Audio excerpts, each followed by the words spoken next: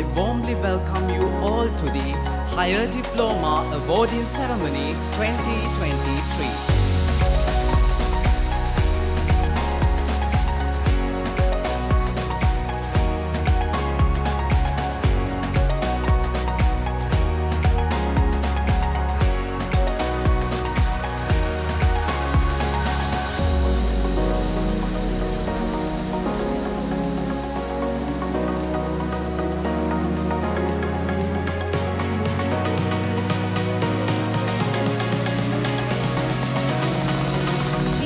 very best.